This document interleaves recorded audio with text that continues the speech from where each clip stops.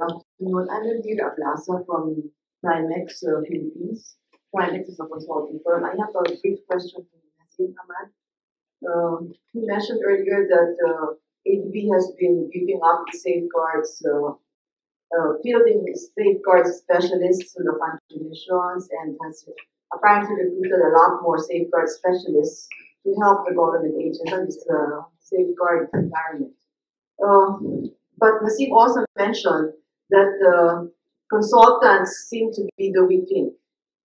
Because I come from the consulting industry, and I myself am an environment specialist, I just wonder whether ADB is planning to um, what have some programs for consultants so that uh, the understanding of uh, environmental and social safeguards would be uh, similar across the board because my experience, our experience as a firm, is that um, we, when we work with government agencies, we help them prepare the, you know, the IEE or the resettlement framework, etc.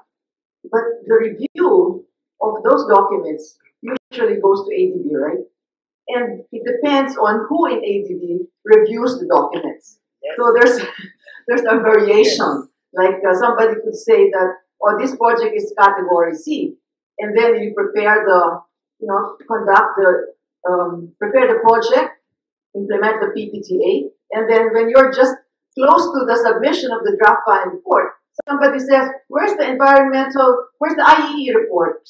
And you say, IEE report, but this is category C, you know? So, I mean, the question is, my, going back to the question, is ADB planning to have at least a series of seminars or orientations for consulting firms because uh, it's very true that we help governments, but the you know the understanding or the application of the safeguards might vary across sectors and across different agencies and countries. Thank you.